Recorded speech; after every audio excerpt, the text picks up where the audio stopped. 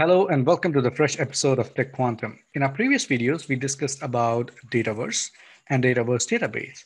Well, in that Dataverse database, let us now identify what are tables and columns, previously also known as entities and fields. So keep watching and stay tuned.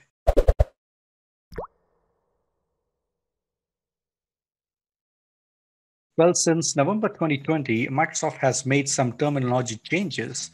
So a common data model is now called as Dataverse. Uh, entities are now called as tables and fields are now called as columns. So if I mix and match these terminology, kindly pardon me because I'm still getting used to the new terminology. All right, so uh, let us discuss what is a table in a Dataverse. So a table in a Dataverse is a logical structure which contains records in the form of rows and columns.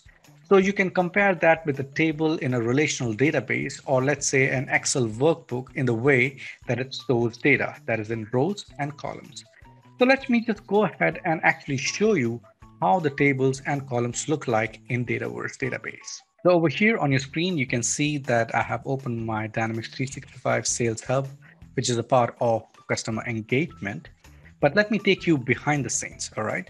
So let me just type in make.powerapps.com. And within the Power Apps, the first thing that you need to do is choose your right environment. So over here, as this is a demo data, this is the right environment that I need to choose.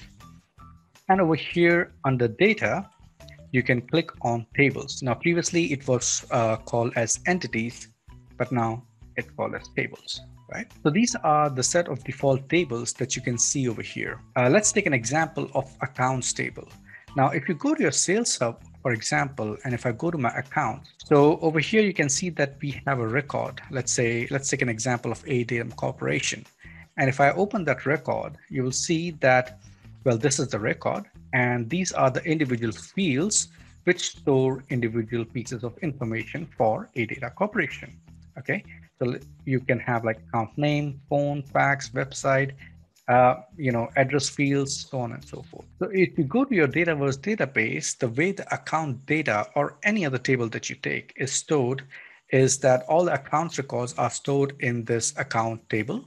And when you go into the table, and within the table, these are the columns which store uh, individual pieces of information as columns, like account name, address city, uh, you know, country, region, fax, etc. Now over here you see display name. So this display name is the name that the end user sees on the form, you know, on the end product. And this name over here is the schema name. So if you want to integrate anything, you will have to refer these individual columns based on their schema name.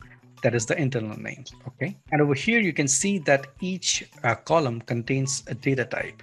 Now, the data type is, for example, if you want to uh, create a field wherein you want to store alphanumeric characters, then you will choose um, a field data type as text. Similarly, if you want to store dates, uh, like let's say a date of birth uh, in, a, in a field, so you will choose the data type as date. Okay. Similarly, you have many other options. You have option sets and so on and so forth. And each column is has a type as well. It can be standard or managed. And over here, this uh, attribute denotes if that column is customizable or not, and if it is a required or an optional uh, column. So for example, if it is required, that means you want you want to force the the end user to actually enter the data without which the uh, data will not be saved, right? So in that case, you say, okay, this column is required.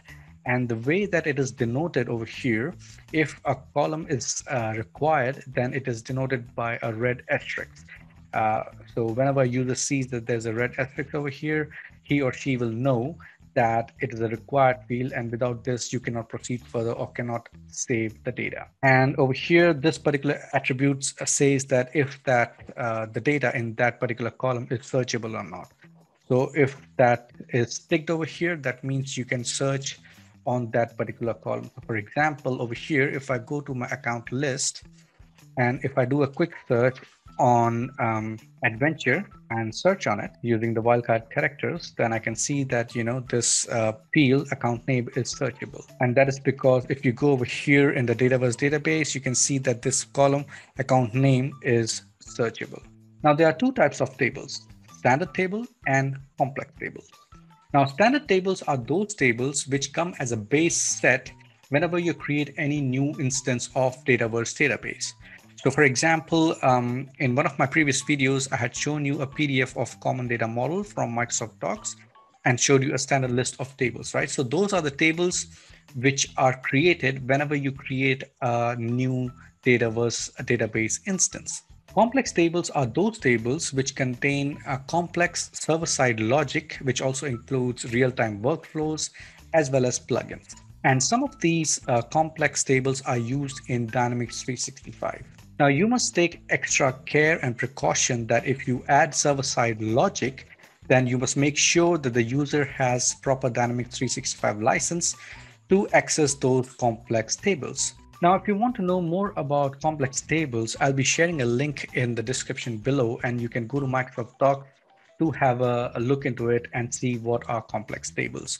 For example, let me just show it to you over here. Now, if you go to this particular link, which I'll be sharing in the description below, you can see that, you know, over here, as I mentioned, effective November, November 2020, Common Data Service has been renamed to Microsoft Dataverse, and also uh, there have been some terminology changes. And there, apart from uh, you know renaming entities to tables and fields to columns, there are many more terminology changes. So you can go and have a look at that uh, list as well.